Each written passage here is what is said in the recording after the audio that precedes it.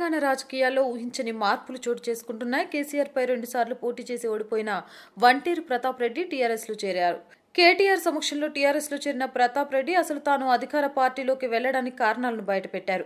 తెలంగాణలో అన్ని వర్గాల ప్రజలు కేసీఆర్తోనే ఉన్నారని అందుకే తాను టీఆర్ఎస్లోకి వెళ్తున్నానని ప్రతాప్ రెడ్డి స్పష్టం చేశారు. కేసీఆర్ చేపట్టిన సంక్షేమ పథకాలు అభివృద్ధి టీఆర్ఎస్ని గెలిపించాయని అన్నారు.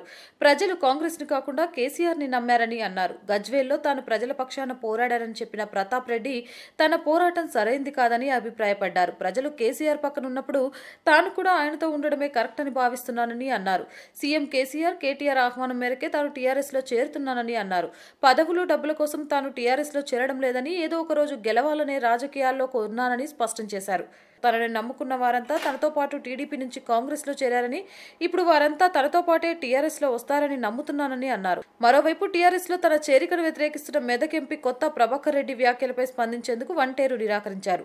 టీఆర్ఎస్లో చేరితే కేసీఆర్ తనకు బాస్ అని తాను అందరినీ కలుపుకొని పోతానని అన్నారు. అలాగే తనకు వ్యక్తిగతంగా ఎవరితోనూ శత్రుత్వం లేదని వంటేరు వివరించారు.